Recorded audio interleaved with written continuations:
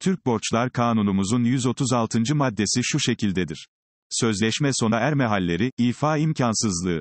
Madde 136, borcun ifası borçlunun sorumlu tutulamayacağı sebeplerle imkansızlaşırsa, borç sona erer. Karşılıklı borç yükleyen sözleşmelerde imkansızlık sebebiyle borçtan kurtulan borçlu, karşı taraftan almış olduğu edimi sebepsiz zenginleşme hükümleri uyarınca geri vermekle yükümlü olup, henüz kendisine ifa edilmemiş olan edimi isteme hakkını kaybeder. Kanun veya sözleşme ile borcun ifasından önce doğan hasarın alacaklıya yükletilmiş olduğu durumlar, bu hükmün dışındadır.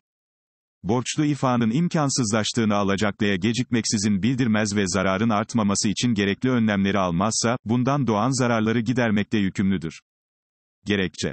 Türk Borçlar Kanunu'nun 136. maddesinin gerekçesi şu şekildedir. 818 sayılı Borçlar Kanunu'nun 117. maddesini karşılamaktadır. Tasarının 3 fıkradan oluşan 135. maddesinde, borcun ifa imkansızlığı düzenlenmektedir.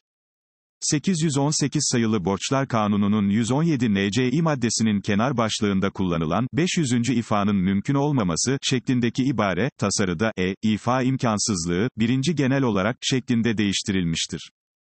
818 sayılı Borçlar Kanunu'nun 117. maddesinin ikinci fıkrasında kullanılan, haksız iktisaplara müteallik hükümlere tevfikan, şeklindeki ibare, tasarıda, sebepsiz zenginleşme hükümleri uyarınca, şeklinde düzeltilmiştir.